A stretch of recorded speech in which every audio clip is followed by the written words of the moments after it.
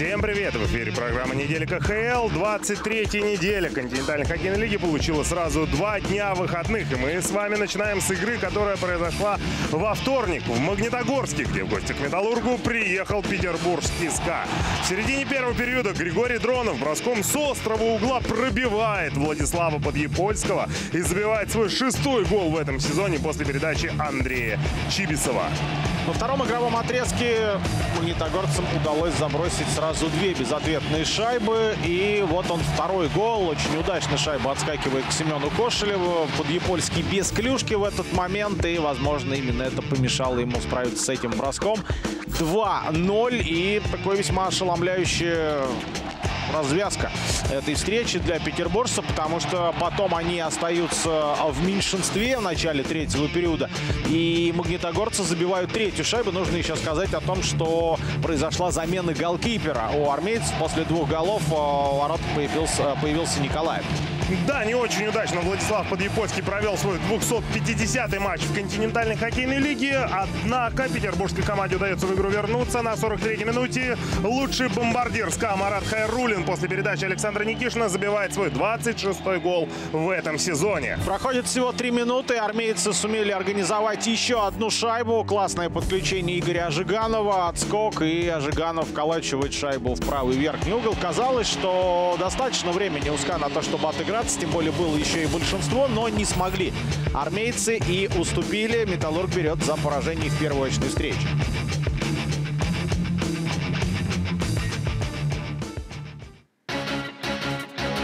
Следующий матч нашего обзора «Нефтехимик» против Акбарса. Это всегда интересно. И очень неплохо вошла в этот матч команда Олега Леонтьева. Уже к 12-й минуте нижнекамцы организовали две шайбы. Первый гол Павла Порядина. Лещенко оставляет, Порядин бросает. Все здорово. Ну и вторая атака. Проходит чуть больше минуты. Андрей Белозеров откликается на передачу из угла. И с пятака первым же касанием отправляет шайбу между щитков вратарем. 12-й гол в дебютном сезоне. Неплохая статистика для Андрея Белозерова. Однако уже в первом периоде удалось Акбарсу одну шайбу отыграть. Александр Радул, смотрите, что делает. А, ушел от Кашникова. Еще один э, вираж. И в итоге с неудобной руки доставляет шайбу на пятак, откуда Дмитрий Кагарлицкий забивает свой 11-й гол в этом сезоне. Во втором периоде заброшенных шайб не было, а уже в начале третьего периода Вадим Шипачев. После передач Станислав Слава Галиева и Александр Радулова, оставшийся один абсолютно на дальней штанге в касание вколачивает шайбу в ворота Андрея Тихомирова. Да, причем это был гол в большинстве. Еще одна шайба в большинстве, на этот раз от защитника Акбарса. Вячеслав Воинов э, мощно палит от синей линии и пробивает. Голкипер нефтехимика. Отличный трафик перед воротами. И казанцы впервые в этом матче выходят вперед.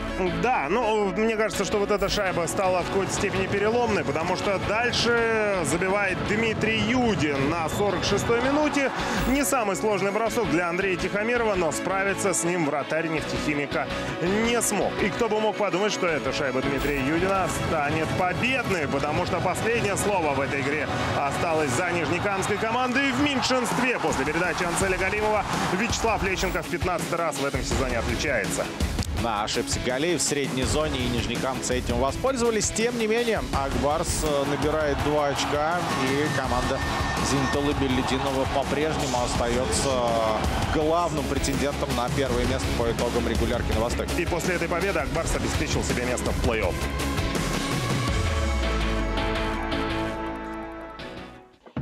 Еще один матч, который прошел в Магнитогорске. В гости к Металлургу приехал подмосковный Витязь. Витязь в этом сезоне уже Металлург обыгрывал. Это было еще в начале сезона. Тогда победа команде Вячеслава Буцаева досталась в серии после матчевых бросков, а в этой игре все куда веселее было. Джереми Рой бросает от синей линии, Степан Старков подставляет клюшку Кошечкин с этим рикошетом справиться не смог. 1-0.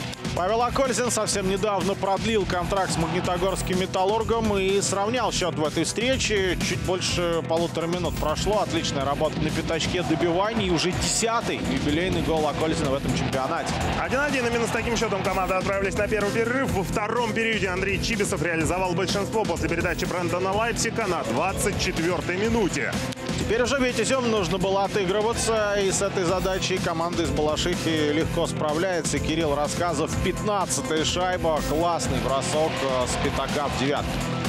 Был в этой игре еще один незасчитанный гол, однако Магнитка не расклеилась после отмененной шайбы и убежала в контратаку из своей зоны. Коробкин и Акользин включили третью скорость, доехали до ворот Дмитрия Шикина, ну и Павел Акользин второй дубль в этом сезоне оформляет после передачи 94 номера. На 34-й минуте Витязь получает большинство и Скотт Уилсон 18-ю шайбу в сезоне забрасывает. Вот так уже почти до 20 голов добрался этот легионер, хотя были к его игре определенные вопросы на старте сезона.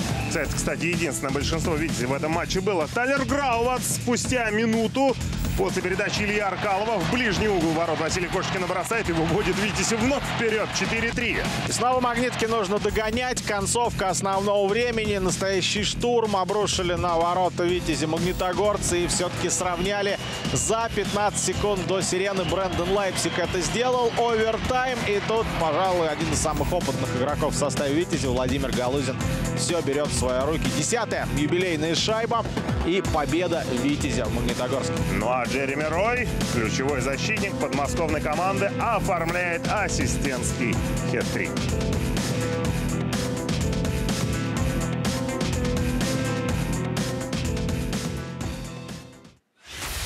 Матчи Северстали и Торпеда в этом сезоне оказываются всегда очень интересными и непредсказуемыми. Такой вышла и эта игра в Череповце. Первый период остался за гостями из Нижнего Новгорода. Александр Дарьин подправляет после броска Николая Буринова. В большинстве много кадровых проблем у Торпеда. Немало игроков в лазарете, но при этом нижегородцы играют неплохо. Максим Федотов в этом сезоне игр практически не пропускал. И именно Максим Федотов забивает вторую шайбу в ворота череповецкой команды. Веряев бросил. Шайба отскочила от щитков Дмитрия Шугаева. Дальше хорошая работа на пятаке. Отбрасывает шайбу игрок череповецкой команды на синюю линию. А там был абсолютно один Максим Федотов. Ну и посмотрите, какая шикарная пауза от защитника нижегородской команды. И 2-0. Очень важно было череповчанам забить хотя бы одну шайбу во втором игровом отрезке. И с этой задачей команда Андрея Разина справилась за две минуты до конца второго периода. Макар Хабаров в большинстве вот так бросает, и шайба по какой-то невероятной траектории залетает в ворот. Ну да, рикошет тут Богдана Конюшкова был. Дальше смотрим с вами события третьего периода. И Александр Суворов, 13-я шайба в этом сезоне. Но здесь отмечаем, конечно, и Михаила Тихонова, и Никиту Рожкову, которые здорово за шайбу поборолись. Отмечаем Михаила Тихонова снова. Если в предыдущем случае он ассистировал, то на этот раз забивает сам. Классное подключение дальним флангом. Забыли Тихонова на пятачке. Воронин смотрел в другую сторону, а Тихонов здорово попадает в ближний угол. 3-2. Северсталь впервые выходит вперед в этом матче. Но удержать череповецкой команде преимущество минимальное не удалось. Менее чем за 5 минут до завершения основного времени после передачи Владислава Фирстова Конюшков бросает от синей линии. Ну а Александр Дарья на пятаке подставляет клюшку и переправляет шайбу ворота. В этой игре все решалось в серии после матчевых бросков. Данил Вовченко приносит победу череповчанам. Очень важные два очка для столеваров. Ну и нижегородцы, учитывая их трудности, увозят одно очко из череповца, что всегда непросто.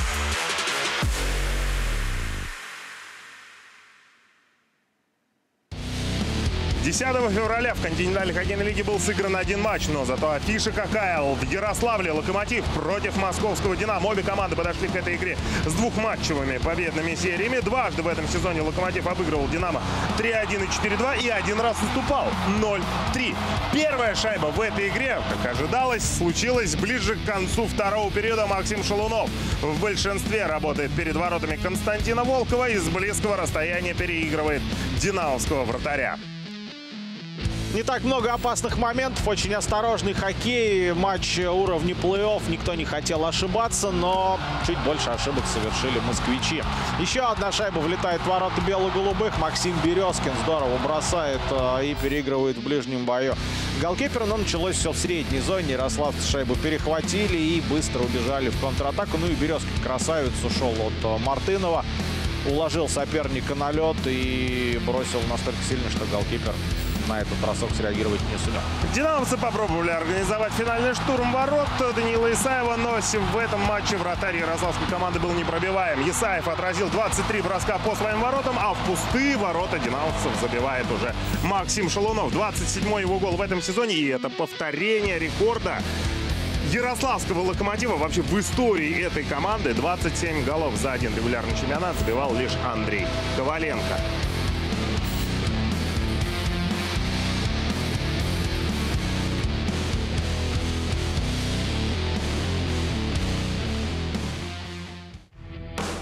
Очередной матч нашего обзора прошел в Омске. Авангард против СКА. Вторая очная встреча между командами в чемпионате. Первая прошла очень давно на старте регулярки. Тогда армейцы оказались сильнее, победили со счетом 4-1. А тут все очень плохо начинается для мячей. Первый же опасный момент у их ворот оказывается голевым. Александр Волков добивает э, после броска Бардаков. Ну а Ред Буше пользуется подарком от Михаила Пашнина, который теряет шайбу на ровном месте, бросает с острого угла, но Николай выручить не смог. 1-1 счет становится уже на третьей минуте, но все-таки на первый перерыв СКА уходит с преимуществом. В счете мощнейший выстрел Андрея Педана после передачи Игоря Жигановой на 16-й минуте Педан во второй раз в этом матче выводит СКА вперед. Во втором периоде солировал Владимир Ткачев. Если в первом было незаметно, то во втором он стал э, главным героем. Обращаем внимание на Коромыслова. Первая смена сразу же допускает ошибку. Ткачев от него убегает убегает и поражает ближний угол. Потом снова большинство СКА. Яшкин, казалось бы, из сложнейшей ситуации находит сам для себя момент. Бросок с отрицательного угла и от Демченко шайба влетает в ворот. Тоже, кстати, было реализовано большинство. И как в первом случае было удаление у Владимира Ткачева. За первое удаление он отмазался голом на 25-й минуте. За второе удаление он отмазывается голом на 36-й минуте. 22 гол Владимира Эдуардовича в этом сезоне. Снова СКА удается выйти вперед. Э, причем четвертая тройка армейцев отличается. Евгений Кетов э, подправляет шайбу. Причем даже не клюш клюшкой, а ногой в бедро она попала после броска Пашнина от синей линии. Дамир Шеребзянов в большинстве на 56-й минуте после передачи Арсения Грицука забивает свой шестой гол в этом сезоне и делает счет равным 4-4. Ну, а потом Алекс Бродхерст э, забрасывает пятую шайбу не без помощи Сергея Кулакова. Именно от его конька отскочила шайба к э, нападающему Авангарда. Что интересно, Авангард за второй и третий период нанес всего 9 бросков в створ, но забил 4 шайбы и победил.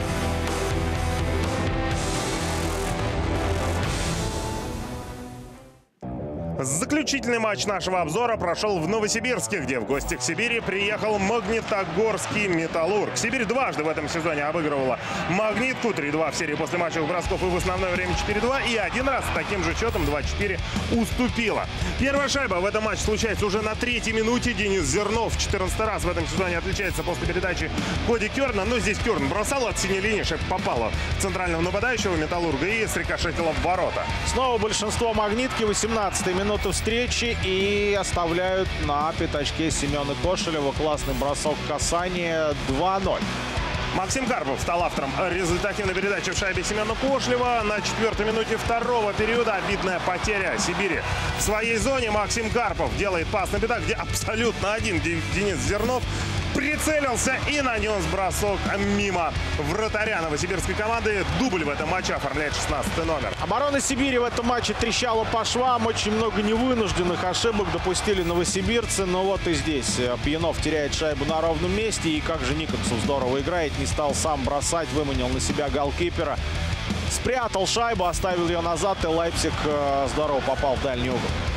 Но отыграть на ноль Эдварду Паскуале в этом матче было не суждено. Всему виной гол Никиты Шашкова, который случился на 48-й минуте. Здорово на добивании после броска Ильи Морозова играет 99-й номер новосибирской команды и переправляет шайбу в ворота с неудобной руки. Итог 4-1. Победа магнитогорской команды на выезде. И борьба за первое место на Востоке продолжается. А для вас этот обзор провели Кирилл Корнилов и Артем Башко. Всем пока!